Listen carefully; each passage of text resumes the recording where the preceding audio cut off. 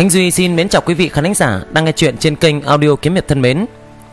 Mời quý vị và các bạn chúng ta tiếp tục đến với tập 121 của bộ truyện tiên hiệp đặc sắc Đế Tôn, tác giả Thạch Trư, qua giọng đọc của Khánh Duy, nguồn được lấy trên trang góc.com. Mời quý vị và các bạn chúng ta cùng tiếp tục theo dõi diễn biến của câu chuyện.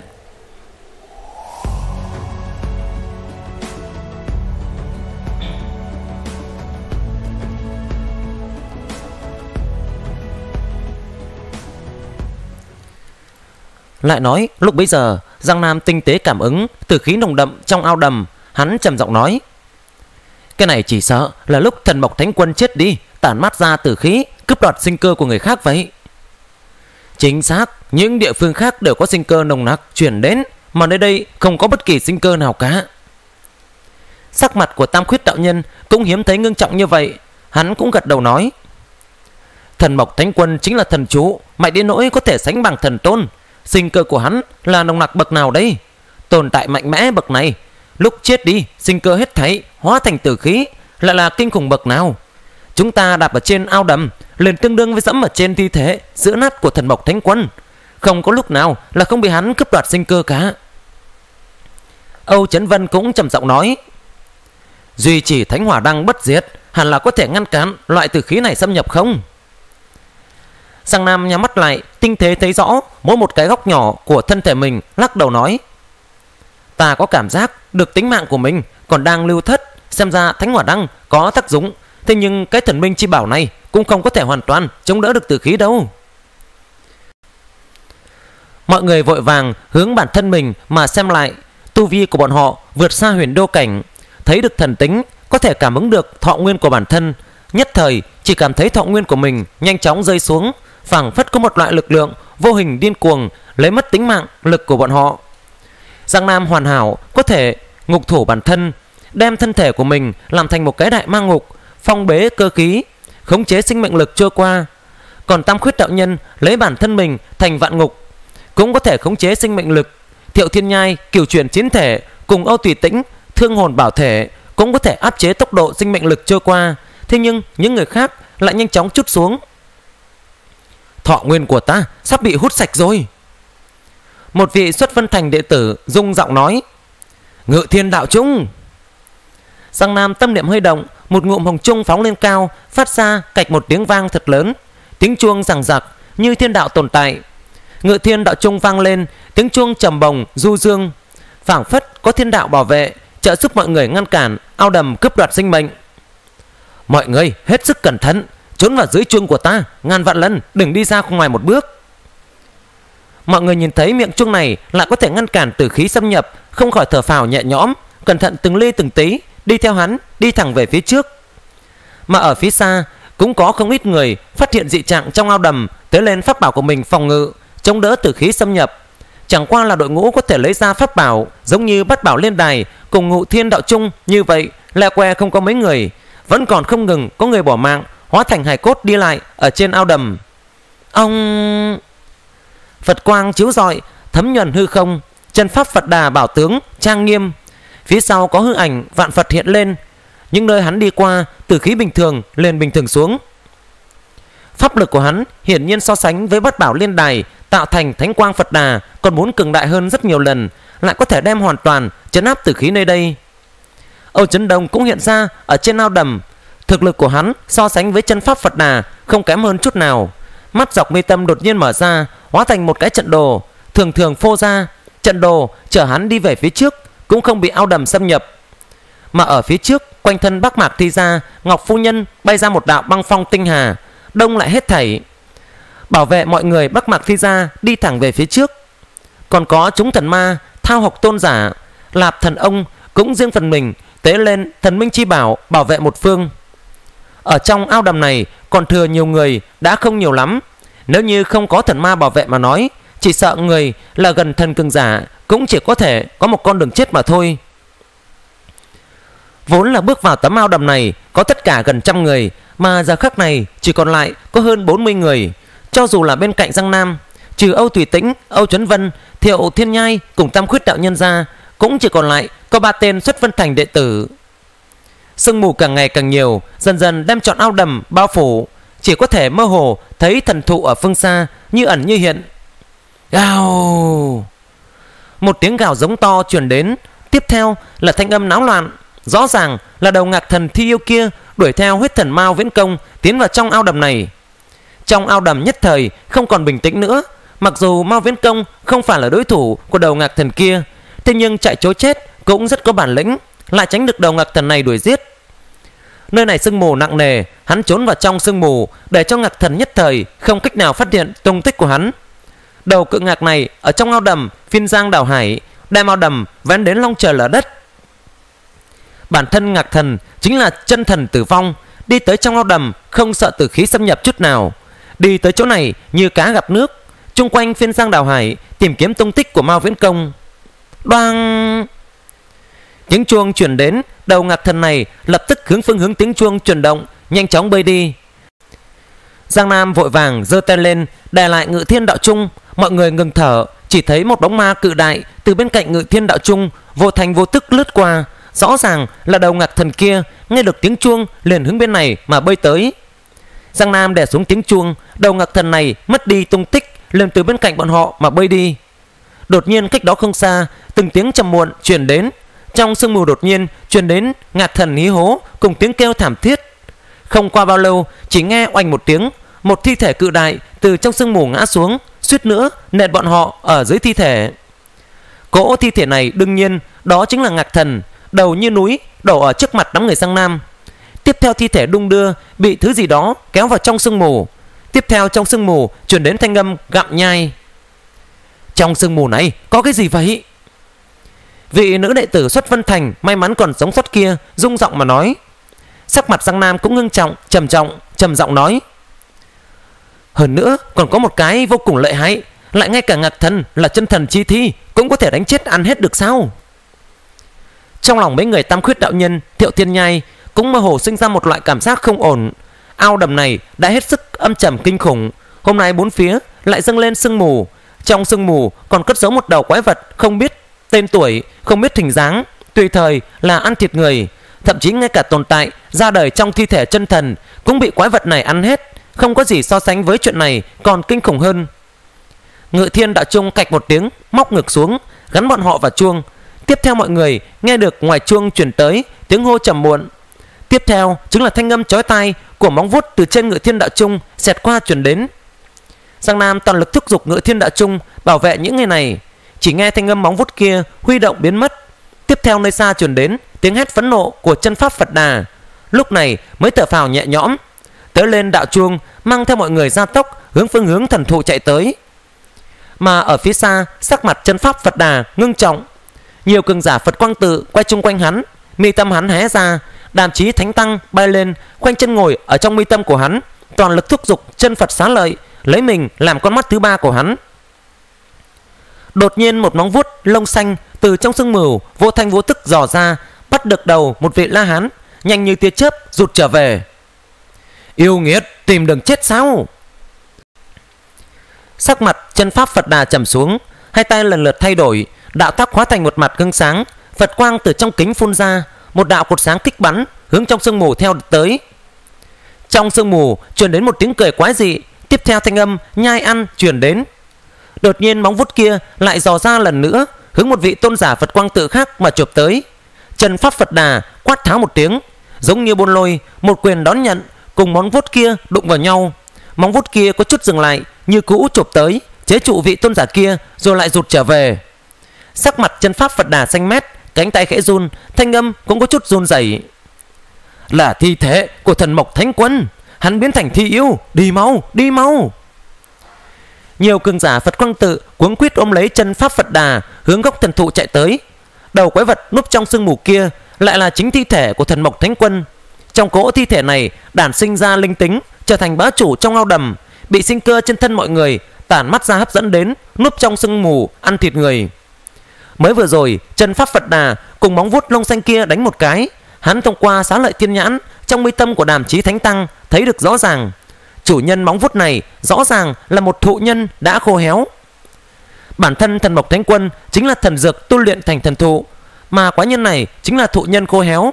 Thực lực của chân pháp Phật Đà có thể so với thiên thần, ngay cả một kích toàn lực của hắn cũng không thể dung chuyển móng vuốt thụ nhân này. Như vậy, thụ nhân này tất nhiên là thi thể của thần Mộc Thánh Quân không thể nghi ngờ. Thần Mộc Thánh Quân đã chết quá lâu, thế cho nên thi thể hắn chìm đắm trong sinh cơ cùng tử khí mà mình tản mát ra. Tử khí dưỡng dục thi linh, sinh cơ dưỡng dục thân thể để cho hắn biến thành một thi yêu. Cũng may thi yêu tỉnh tỉnh mê mê, không có linh trí, không cách nào tu luyện, nếu không đừng nói chân pháp Phật Đà, cho dù là thần chủ tới chỗ này cũng muốn nuốt thận thu chàng. Thần Mộc Thánh Quân ở trong ao đầm tung hoành, móng vuốt không ngừng chụp tới.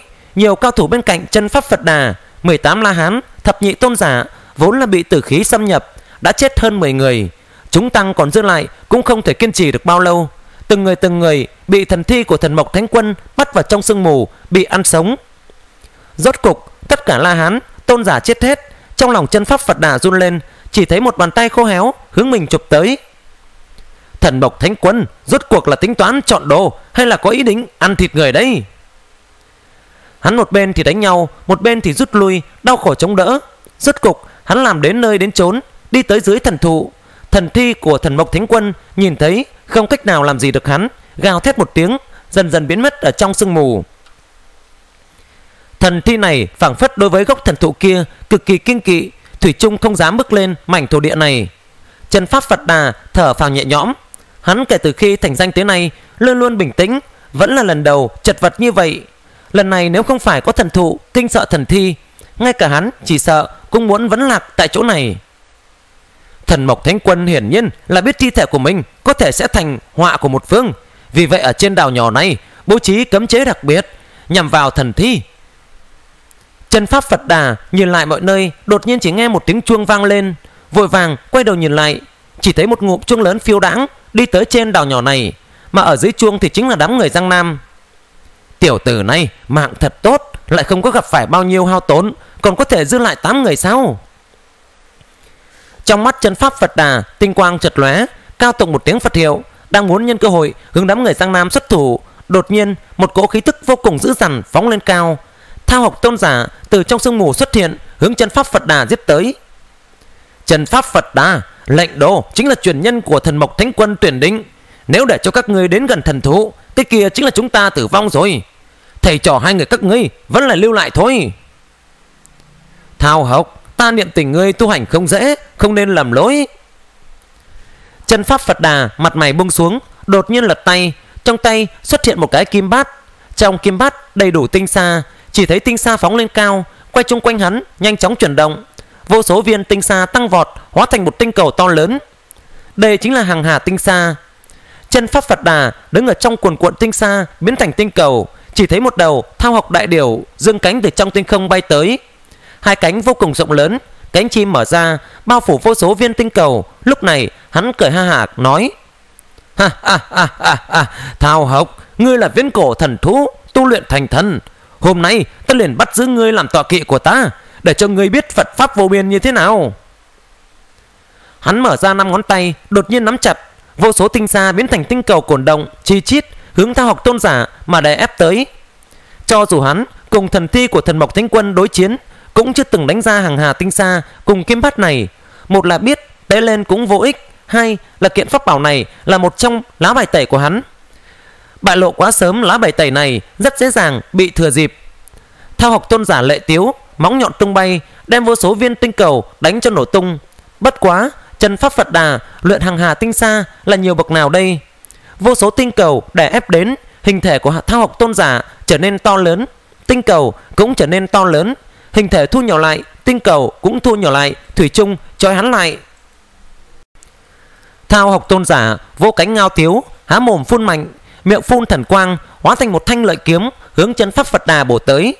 Chân pháp Phật Đà giơ tay, kim bát cũng bay lên, đem lợi kiếm này thu vào trong kim bát, lại hóa thành một đạo thần quang. Ở trong kim bát len keng đánh tới đánh lui, nhưng vào lúc này lại nghe được một thanh âm giả nua truyền đến. Thao học tôn giả nói không sai, chân pháp Phật đã đệ tử của ngươi là thần mộc thánh quân, tuyển định truyền nhân. Đúng là không thể để cho thầy trò các ngươi tiếp cận thần thú. Phật đã đắc tội rồi. Một vị lão giả lông mi trắng bước tới, rõ ràng là một thần minh khác, Lạp thần ông. Lạp thần ông tay áo bồng bềnh giống như một tiên nhân trên đời, nhưng người này thật ra là một bá chủ trong ma đạo, xuất thủ cực kỳ âm độc tàn nhẫn. Chỉ thấy tay hắn cầm một mặt đại hắc phiên. Cờ đen ở giữa không trung cổn động, vô số đạo hắc ảnh chi chít bay ra. Những hắc ảnh này là tà, rơi vào trên vô số viên tinh sa, đem những tinh sa này che phủ nghiêm nghiêm thực thực. Âm hồn phệ thần phiên sao? Lạp thần ông, ngươi lại luyện thành kiện pháp bảo này rồi ư? Chân pháp phật đà lập tức cảm giác được những hắc ảnh này hấp thực linh lực trong tinh sa. Lúc này hai tay hợp thành chữ thập quanh thân vô số phật quang chiếu rọi. Phật quang rơi vào trên những tinh sa, tinh cầu kia, lập tức rơi xuống đất, hóa thành từng tôn đại phật, cao tụng phật danh, luyện hóa hắc ảnh. Thần chiến bắt đầu rồi. Giang nam cùng đám người tam khuyết đạo nhân nghỉ chân xem chiến. Từng người từng người thấy mà mi phi sắc vũ. Than thở liên tục, tham quan học tập loại thần chiến này. Đối với bọn họ, rất có chỗ ích lợi. Đáng đánh đáng đánh mà. Bất quá chúng ta vẫn là trước đi đi tìm kiếm đầu mối của tòa động phủ này. Đem thánh quân động phủ luyện hóa rồi hãy nói đi. Tam khuyết đạo nhân cười hăng hắc nói nói không chừng lúc đó bọn họ còn không có đánh xong đâu. Mọi người đi thẳng về phía trước. Trên hòn đảo nhỏ này không có sương mù. Mọi nơi rõ ràng, trong sáng. Chỉ thấy giữa cây thần thụ là một gian nhà cỏ. Nơi đó hẳn là đầu mối của thánh quân động phủ này. Trần pháp phật đà thấy thế, mi tâm đột nhiên chật lóe. Một đạo phật quang bọc đàm chí thánh tăng từ trong mi tâm của mình bắn ra, hướng thần thụ bay đi quát lên. Đảm chí, ta lấy một thành tu vi bản thân, gia trị chân phật sát lợi. Người nhanh chóng đi qua, cần phải đem thánh quân động phủ mà luyện hóa đi. Đàm chí thánh tăng nghe vậy, gào thét bay đi, lao ra phạm vi tinh xa bao phủ, lập tức hướng thần thụ xông tới. Mà vào lúc này, bên kia tiểu đảo giờ phút này, bắc mạc thi gia ngọc phu nhân cũng bị người ngăn cản, là âu chấn đông cùng một thần minh khác giết đến thiên băng địa liệt.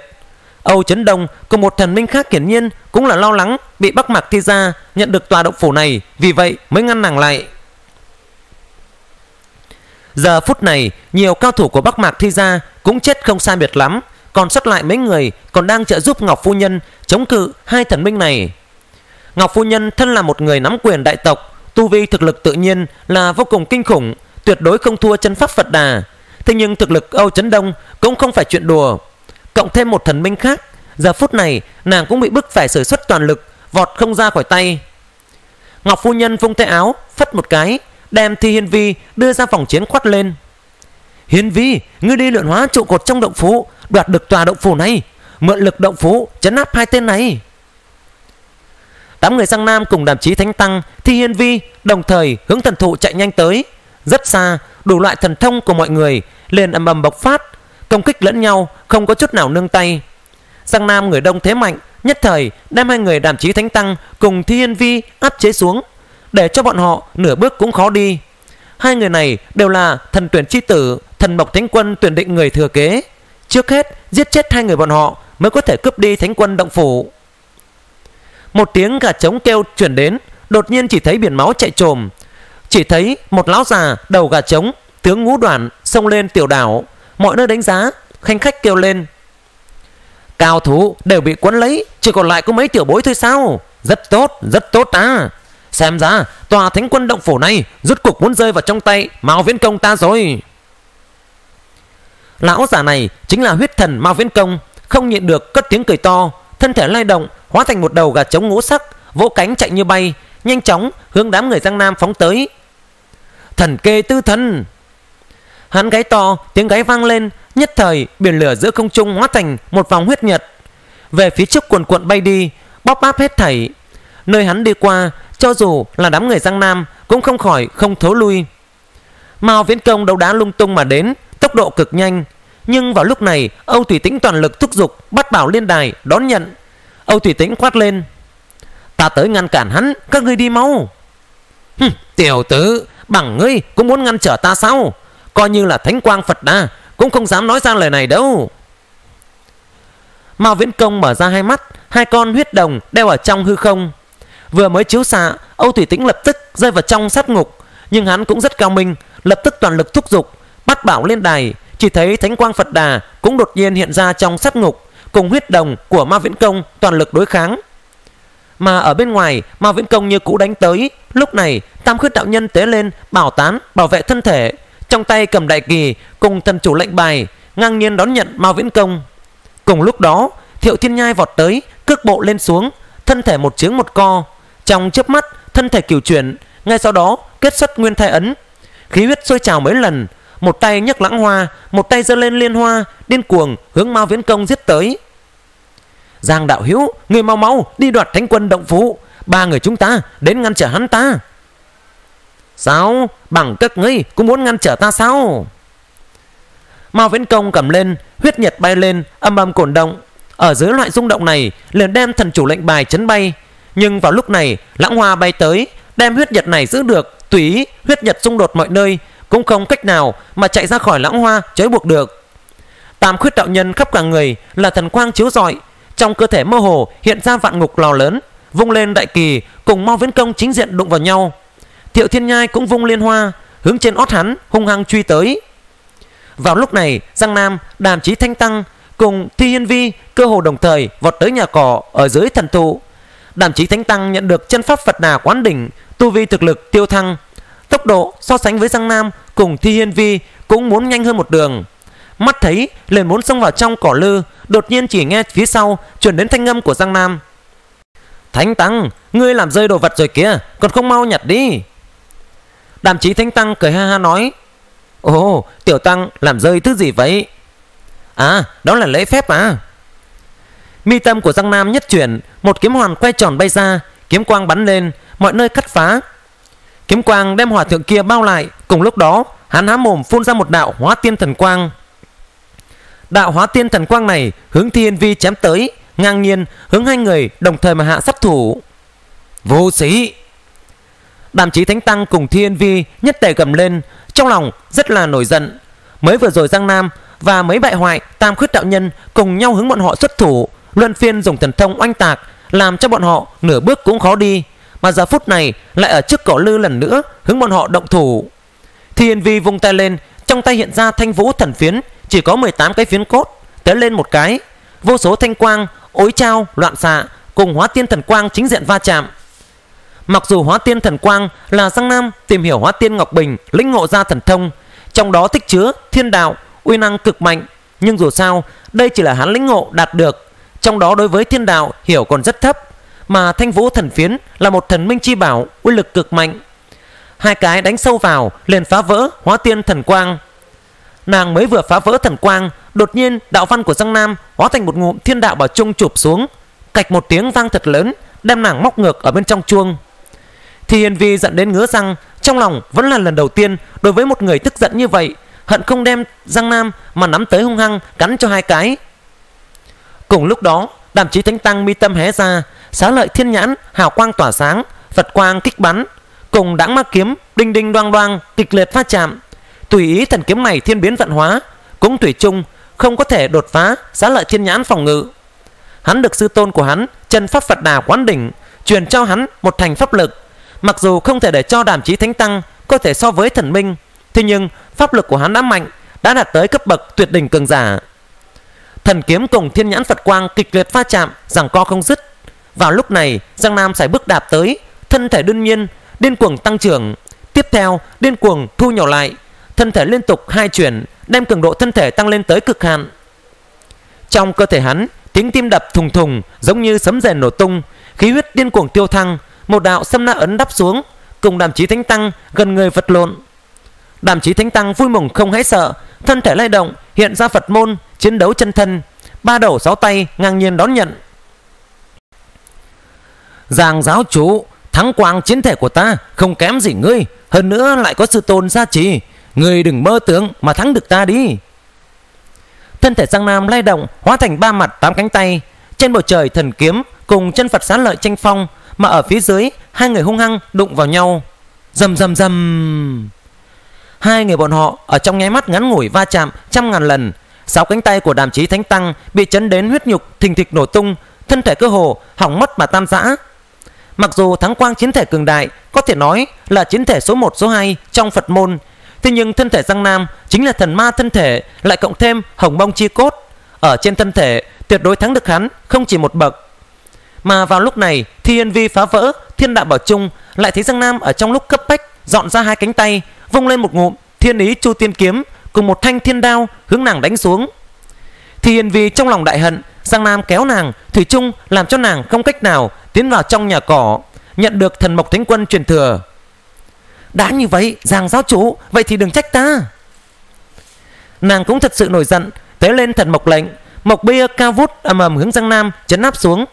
Đồng thời thanh vũ thần phiến trong tay vung lên, Thanh quang như kiếm hướng Giang Nam đập vào mặt. Ba người ở trước nhà cỏ vung tay, Mặc dù ba người bọn họ không phải là thần minh, Nhưng khống chế là thần minh chi bảo, Uy lực vô cùng. Ngay cả hư không cũng bị đánh cho không ngừng tan chảy. Bất quá, tòa nhà cỏ này vẫn như cũ, Bình yên vô sự. Tòa nhà cỏ này nhìn như đổ nát, Thật ra lại là đầu mối của cả thánh quân động phủ. Thần mộc thánh quân ở trong động phủ này Chính là ngồi ở trong này tu luyện ngộ đạo. Chỉ cần đi vào trong nhà cỏ, Luyện hóa đầu mối này là có thể đem chọn động phủ lấy đi. Thậm chí còn có thể điều động lực lượng của động phủ. Bất luận có thể điều động bao nhiêu lực lượng, Cũng vượt qua xa người khác có thể chống lại được. Thậm chí cho dù là chân pháp Phật Đà, Ngọc Phu Nhân hay là Âu Trấn Đông Cũng không cách nào chống đỡ lực lượng của thánh quân động phủ. Mà gốc thần thụ bên cạnh cỏ lư kia Ở trong công kích của bọn họ Thủy chung ngật ngưỡng đứng không ngã. Gốc thần thụ này cũng là do đạo tắc cùng thần mộc tạo thành. Rõ ràng là thần mộc thánh quân lột đi thể xác của mình mà làm thành. Hắn mới luyện thành một thân thể Đem thân thể nguyên lai của mình lột đi Luyện chế thành bổn mạng pháp bảo Chính là gốc thần thụ này. Thần mộc lệnh bất quá là mật thược của động phủ, Đã là bắt trọng thần cấm thần minh chi bảo. Gốc thần thụ này là thân thể thần mộc thánh quân luyện ra, Là tiền vốn để cho hắn cùng thần tôn tranh hùng. Có thể nghĩ, gốc thần thụ này sẽ có uy năng bậc nào? Tòa đảo nhỏ này phân cách thành tứ đại chiến trường, Trần Pháp Phật Đà cùng thao học tôn giả Lạp Thần Ông chiến đấu. Ngọc Phu Nhân cùng Âu Chấn Đông chiến đấu, Đám người Tam Khuyết Đạo Nhân cùng Mao Viễn Công đánh một trận. Cùng với Giang Nam và thiên Vi đàn chí thanh tăng chiến đấu. Bốn chiến trường là kịch liệt bậc nào, Đánh cho chân đất hết thảy mai một lộ ra phía dưới. Chỉ thấy từng cục từng cục tinh thạch khổng lồ từ phía dưới bay ra. Phía dưới đất đã tạo thành một tòa mỏ cự đại. Những tinh thạch này trong suốt trong sáng, Như ngọc, như tương, tràn ngập năng lượng mênh mông đến trí cực.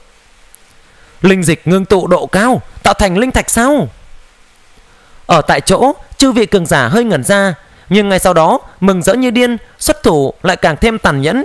Nhiều chiêu đặt mệnh, Mưu cầu sau sớm đem đối thủ mà giết chết. Giang Nam cũng lấy làm kinh hãi, Linh thạch có một không hai khó tìm, Là linh dịch ngưng tụ cao độ mà thành. Một cân linh thạch chống đỡ được trăm cân linh dịch. Hơn nữa, trong đó tích chứa năng lượng So với linh dịch tinh thuần gấp trăm lần, Là tài nguyên tu luyện cực kỳ cao đẳng. Nói thí dụ như, hắn hiện tại dùng linh dịch tu luyện, Mỗi lần tăng lên một cảnh giới Cũng phải hao phí ngàn vạn cân linh dịch. Thế nhưng, nếu như đổ lại là linh thạch, Chỉ cần 10 vạn cân là làm được. Hơn nữa tốc độ luyện hóa nhanh hơn, Tu thành pháp lực cũng càng thêm tinh thuần hơn, Hoàn toàn có thể được xưng tụng là thiên truy bách luyện. So sánh với một chút linh đan diệu dược, Hiệu quả còn muốn giỏi hơn. Bất quá linh thạch vô cùng khó có được, Mặc dù hắn đã sớm nghe nói có linh thạch tồn tại, nhưng cho dù là ở trong địa ngục, Hắn cũng chưa bao giờ được thấy qua. Loại tài nguyên này Thường thường bị thần ma cầm giữ là tài nguyên trọng yếu nhất của thần ma. Ở trung thiên thế giới, Linh thạch quáng mạch cũng là không nhiều, Thường thường nắm giữ ở trong tay các thế lực lớn.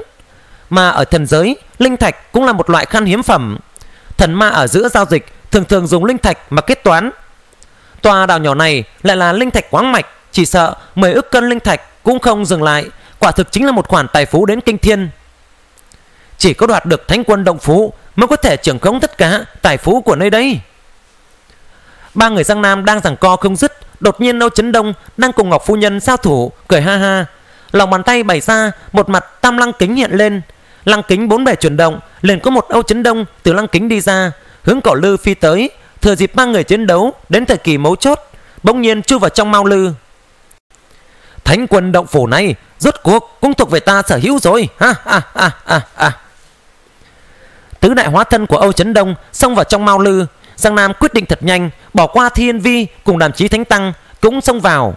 Thi hiên vi cùng đàm chí thánh tăng không dám chậm trễ, vội vàng vọt vào trong mao lư. Đây là cái gì vậy? Giang nam mới vừa tiến vào bên trong mao lư, đột nhiên nghe được tiếng kêu sợ hãi của âu chấn đông chuyển đến. Tiếp theo, liền thấy tòa cỏ lư này là một không gian rộng lớn trăm dặm. Cái không gian này cực kỳ vững vững chãi. Rõ ràng là có thần chủ đạo tắc mở thời không tạo thành. Ở trong không gian này nổi lơ lửng từng kiện thần minh chi bảo Thể tích khổng lồ Thiên thần chi bảo Chân thần chi bảo Thậm chí ngay cả thần chủ chi bảo cũng có thật nhiều. Những pháp bảo này đã bị phong ấn, không có nửa phần uy năng, hiển nhiên là thần mộc thánh quân vì truyền nhân cách thế của mình mà lưu lại.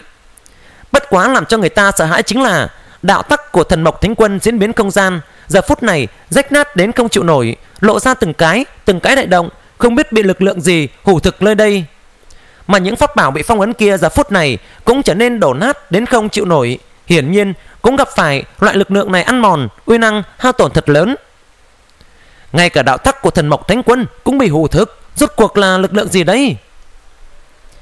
Giang Nam trong lòng cả kinh, hắn lập tức cảm giác được một cỗ áp bách kinh người từ trong không gian nghiền nát kia truyền đến, giống như một vô song cự nhân đứng vững ở trong tinh không rộng lớn vậy.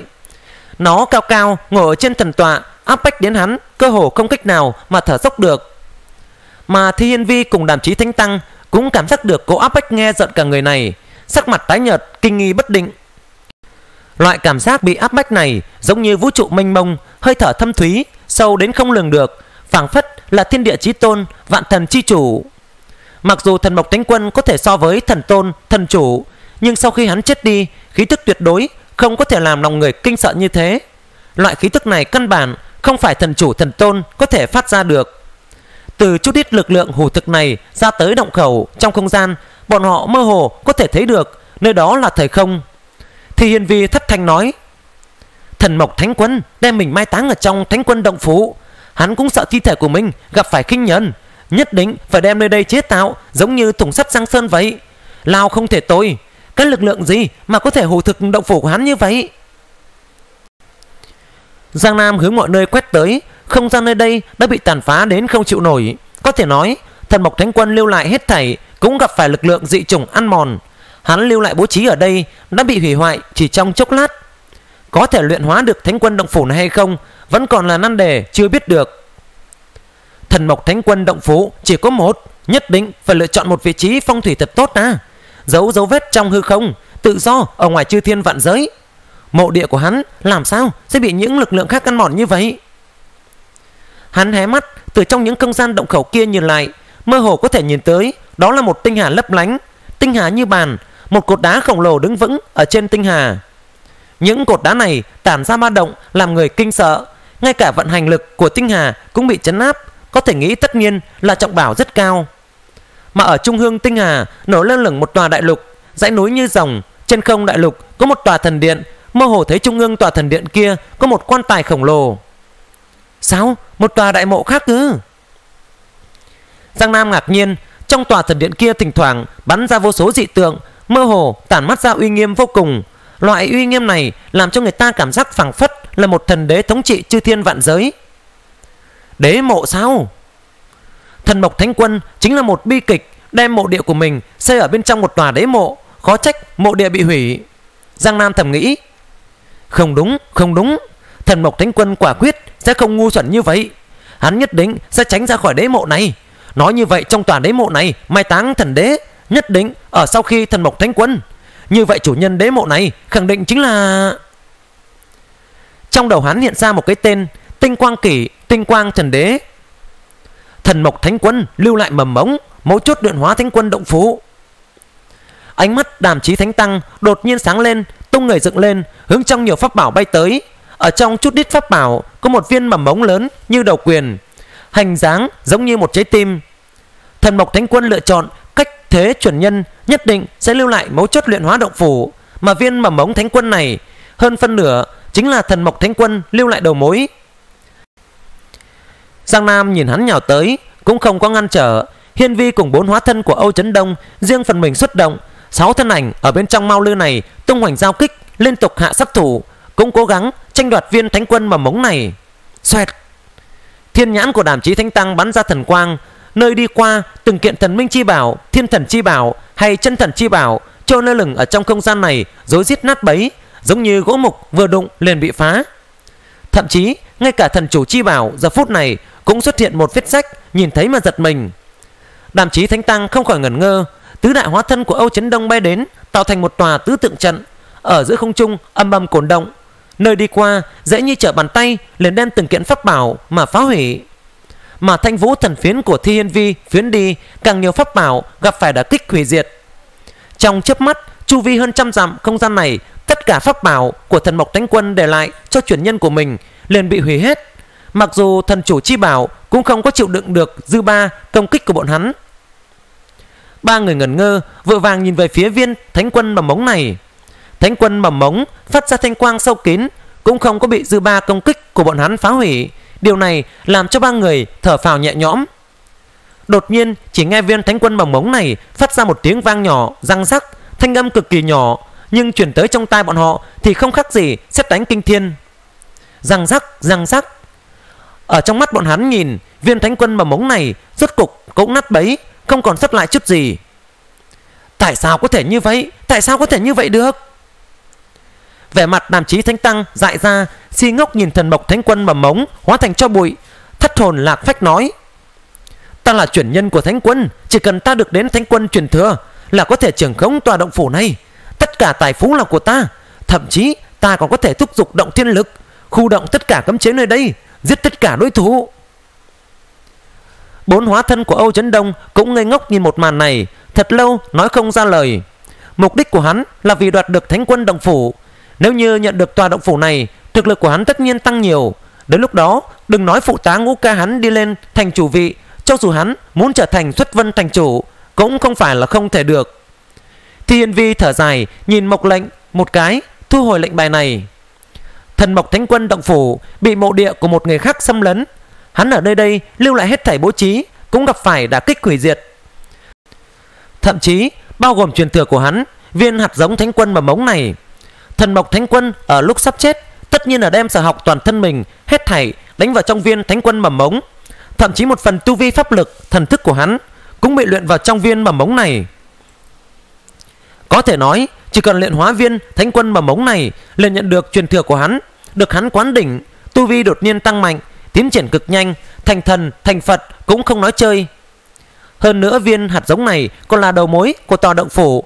Trọng yếu nhất là sau khi luyện hóa viên mầm mống, cả tòa động phủ đều sẽ bị chủ nhân mầm mống trưởng khống. Thế nhưng hiện tại, thánh quân mầm mống bị một tòa đại mộ khác truyền ra lực lượng ăn mòn, hủy diệt. Nói một cách khác, hiện tại bất luận kẻ nào cũng không thể nhận được tòa thánh quân động phủ này nữa. Trừ khi bọn họ có pháp lực ngập trời có thể làm cho đạo văn hoặc là đạo tắc của mình trải rộng cả không gian động phủ mạnh mẽ, đem tòa động phủ này mà luyện hóa. Bất quá, nếu như có pháp lực bậc này, thấp nhất cũng cần tu vi thần chủ thần tôn.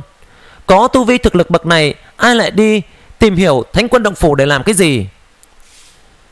Công dã tràng rồi, kết quả là công dã tràng. Âu trấn đông cười mà như không cười, khóc mà như không phải khóc.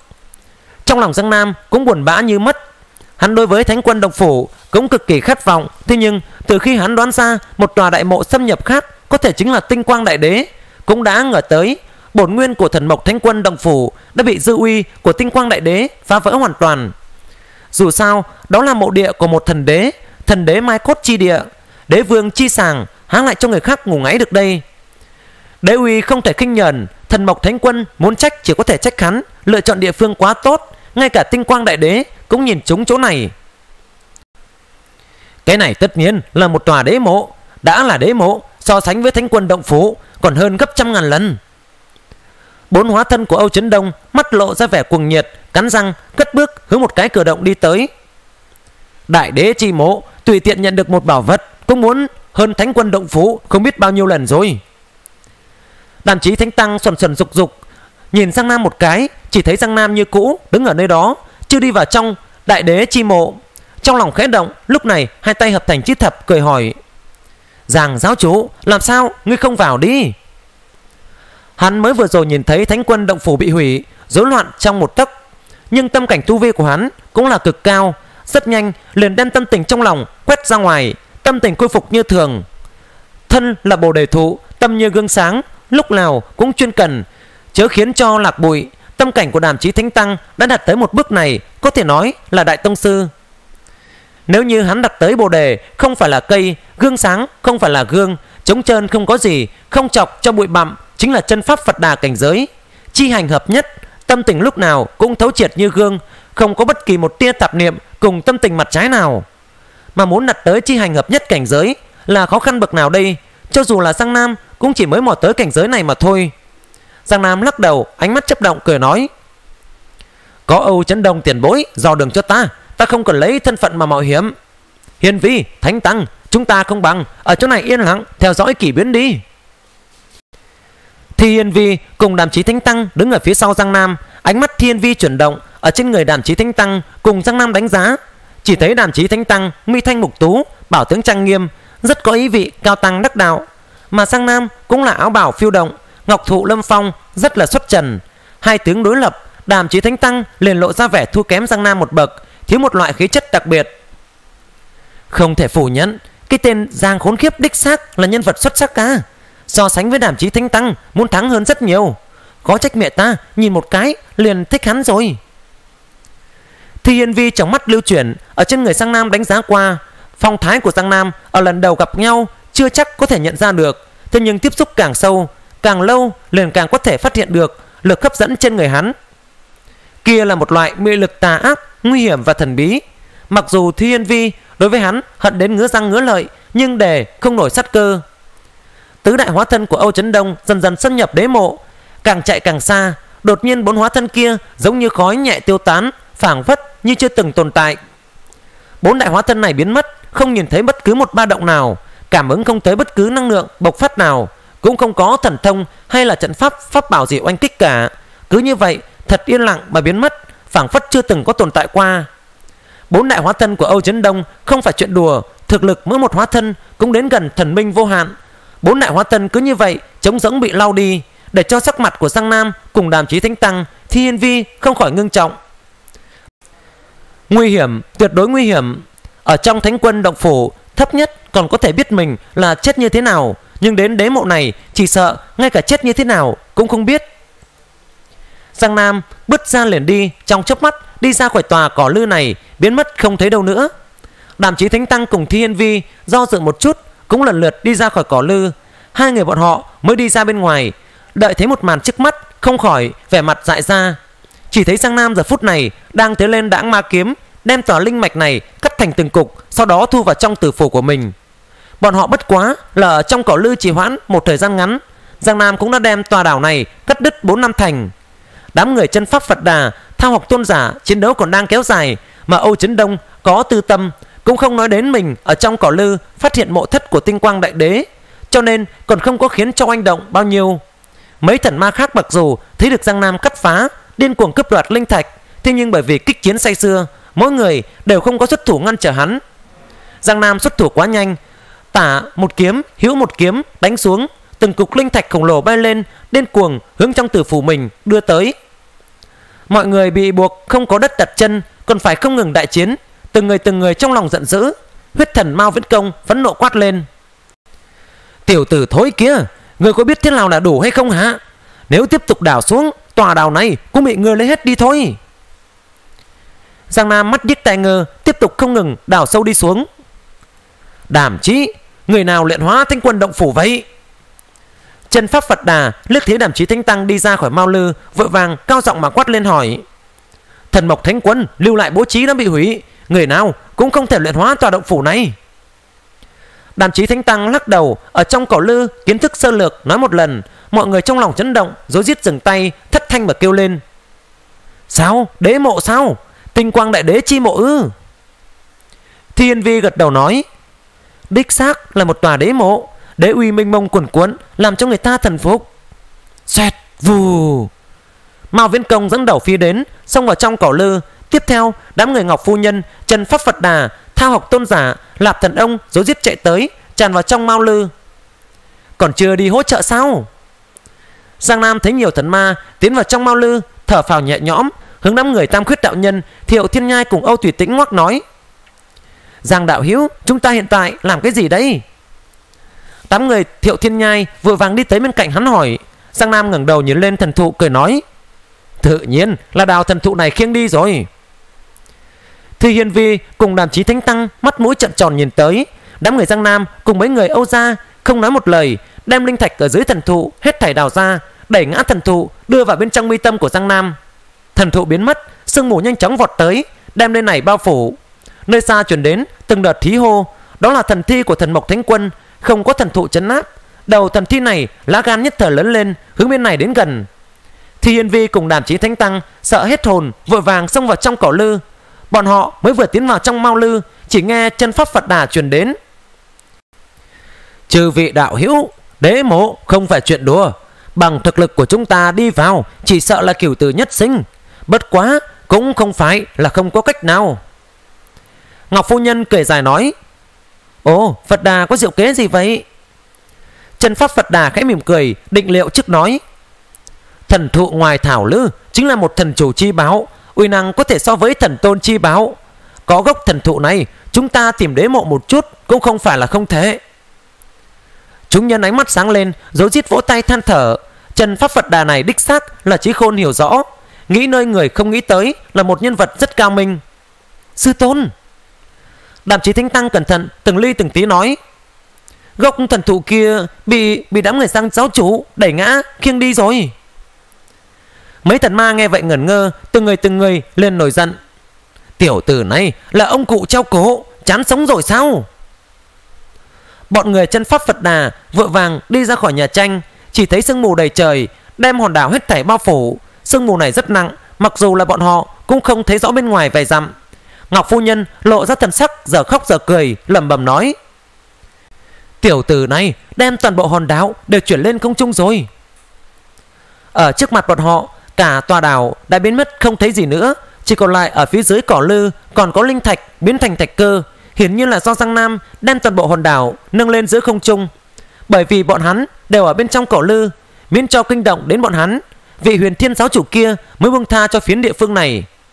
Sắc mặt bọn người Âu Chấn Đông, Mao Viễn Công cùng Lạp Thần Ông Trở nên vô cùng khó coi.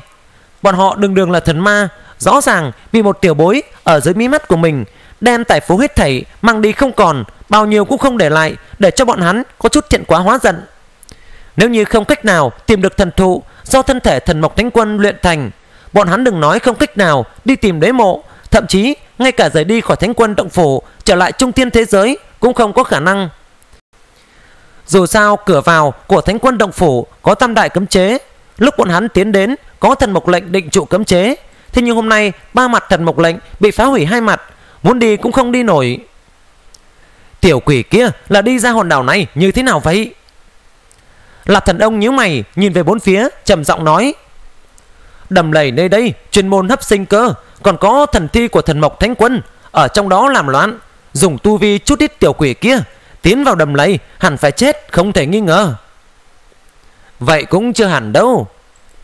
Chân Pháp Phật Đà lắc đầu nói, Ta từng thấy vị giang giáo chủ kia có được một bảo chung, Dùng bảo chung bảo hộ mọi người, Bình an từ trong đầm lầy đến chỗ này.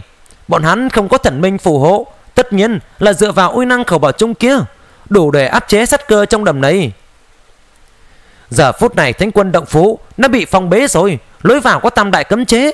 Tiểu quỷ họ giang kia, Cho dù quỷ kế đa đoan, Cũng không cách nào ly khai khỏi nơi đây được. Thao học tôn giả cười lạnh nói, Hắn trốn không thoát đâu, Thánh quân động phú cũng không quá lớn, Chúng ta tùy thời có thể tìm được hắn, Ép hắn đem tất cả tài phú mà nhổ ra. Mao Viễn Công hừ lạnh một tiếng, Lúc này khởi hành mà kêu lên, Mau, chúng ta mau truy tìm. Đột nhiên trong sương mù truyền đến từng tiếng gào thét nặng nề, Sắc mặt chư vị thần ma biến hóa Lập tức nghe ra đó là thần thi của thánh quân, Phát ra gầm rú, Cách bọn họ cũng không xa. Sắc mặt Mao Viễn Công biến hóa, Vội vàng dừng bước lại. Hiền Vi, Ngươi trở lại bên trong nhà tranh Ngàn vạn lần, không nên đi ra. Sắc mặt của Ngọc Phu Nhân cũng ngưng trọng, Hướng Thi hiền Vi thấp giọng nói, Phiến đầm lầy này, thôn vệ sinh mệnh lực, Ngươi ở bên cạnh ta, Chỉ sợ lúc gặp đến đại chiến, Ta không dành thủ hộ ngươi. Nhà tranh là chỗ thần mộc thánh quân tu luyện Thần thi kia không dám đi vào đâu.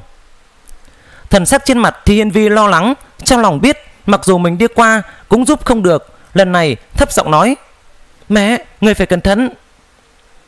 Trần Pháp Phật Đà nhìn đàm chí thánh tăng nhẹ nhàng ngoắc Chỉ thấy đàm chí thanh tăng thân bất do kỷ bay lên Rơi vào bên trong mi tâm của hắn. Hắn lại không có muốn đàm chí thanh tăng Trốn ở bên trong cỏ lư Dù sao đàm chí thanh tăng có được xá lợi thiên nhãn.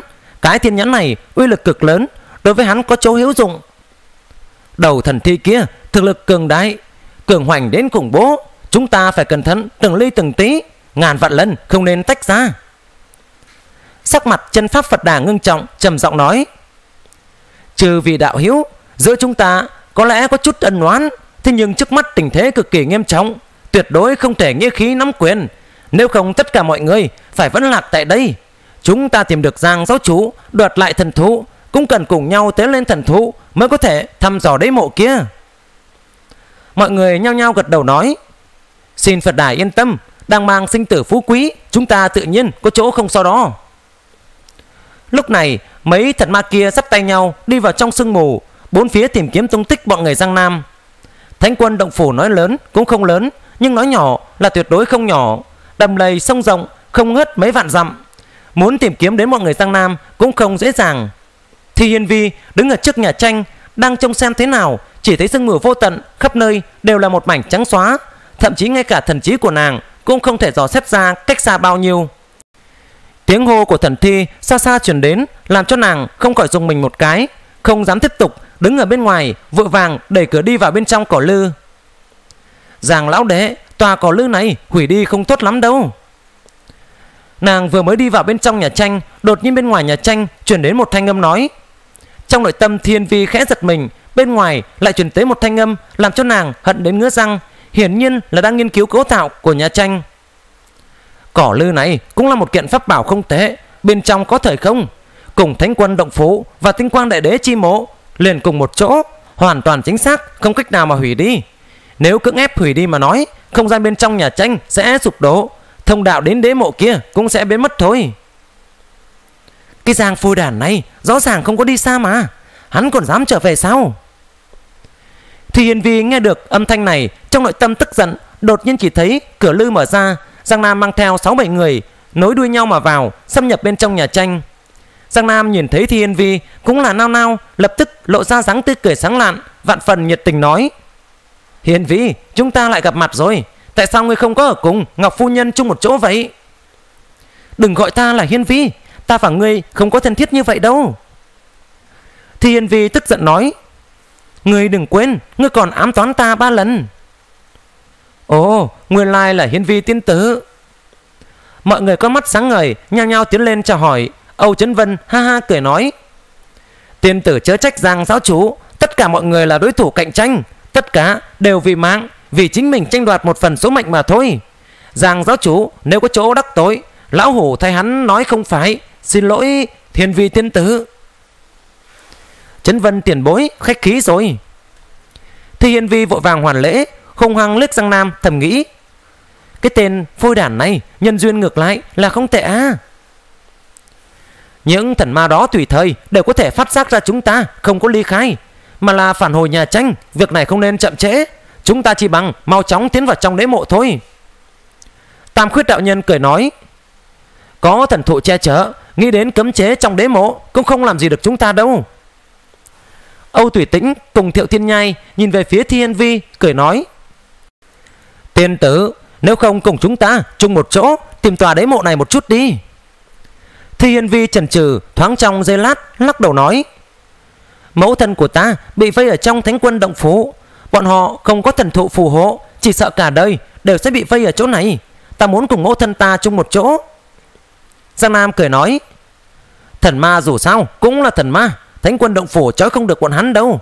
Bọn hắn còn có cơ hội ly khai, Thánh quân động phủ tiến vào đế mộ. Thi Hiên Vi nghi ngờ nói, Cơ hội gì vậy? À Bọn hắn chỉ cần bắt thần thi của thánh quân, Đem đầu thi thần này luyện hóa.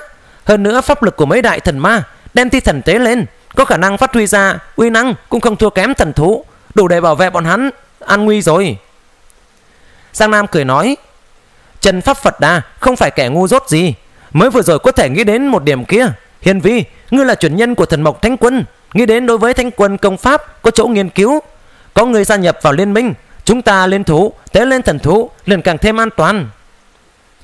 Thì Hiên Vi thoáng yên tâm, Nàng đối với thăm dò đế mộ Cũng có chút chờ mong. Góc thần thụ này có thể chấn nhiếp thần thi Của thần mộc thánh quân. Dựa vào thần thụ để thăm dò đế mộ Hoàn toàn chính xác sẽ ít đi rất nhiều nguy hiểm. Được vậy thì cùng đi. Thi Hiên Vi cắn răng nói. Âu Chấn Vân thầm than một tiếng thầm nghĩ. Hey, Cô nương này sẽ bị lây tính xấu mất thôi. Mọi người dũng mãnh tiến vào trong đế mộ, lập tức cảm giác được đại đế chi uy hạo hạo đáng đáng chấn áp mà đến, để cho bọn hắn tâm linh run rẩy, tinh khí thần hết thảy lọt vào trong áp chế, thân thể, thần thức, pháp lực, khí huyết cùng tâm linh phảng phất đều bị một tòa hoang cổ thánh sơn chấn áp xuống. Cùng đế uy đối kháng là địa phương ta hoàn thiện vô uy ấn tốt nhất rồi. Tâm thần Giang Nam kích đãng, lúc này lấy ra thánh quân thần thụ, chỉ thấy gốc thần thụ này vừa xuất hiện, lập tức tản mắt ra uy năng ngập trời, cành lá bay múa, khí lành ngàn tia. Thần thụ cao cao đứng vững, một mảnh khí lành dài hẹp như là thác nước rơi xuống, ngăn cản ở chung quanh bọn họ, ngăn trở đại đế chi uy xâm nhập. Thần thức của Tam Khuyết đạo nhân cũng dũng mãnh tiến vào bên trong gốc thần thụ này, phi tốc dò xét, thất thanh nói: 18 đạo thần cấm mà, cái gốc thần thụ này rõ ràng có khoảng chừng 18 đạo thần cấm, thập bắt trọng thiên, khó trách có thể so sánh với thần tôn chi báo. Nếu thần mộc thánh quân đem gốc thần thụ này luyện thành 24 trọng thiên, chỉ sợ thực lực của hắn có thể so sánh với thần đế ma đế rồi. Thần mộc lệnh chỉ có 8 đạo thần cấm, hình thành bắt trọng thiên, đàm chí thánh tăng cùng thi hiên vi chỉ luyện hóa đệ nhất trọng thần cấm, uy năng liền có thể so sánh với thần minh chi bảo, uy lực cực lớn. Mặc dù là sang nam tới lên đãng ma kiếm cũng không cách nào mà phá hư thần mộc lệnh, chỉ có thể từ trong bên trong không gian phá vỡ đệ nhất trọng thần cấm, cưỡng ép xóa đi đệ nhất trọng thiên. Mà gốc thần tụ này lại trọn vẹn 18 đạo thần cấm, thập bát trọng thiên có thể tưởng tượng nếu như uy năng của gốc thần thụ này toàn bộ được tách ra là kinh người bậc nào. Hiền Vi, ngươi là thần mộc thánh quân chuyển nhân, ngươi tới luyện hóa đệ nhất trọng thần cấm đi. Giang Nam trầm giọng nói, chư vị, ta truyền thụ cho các ngươi thần mộc thánh quân công pháp, thánh quân thần cấm đại điển, các ngươi cùng một chỗ hiệp trợ Hiền Vi đến tế lên thần thụ này.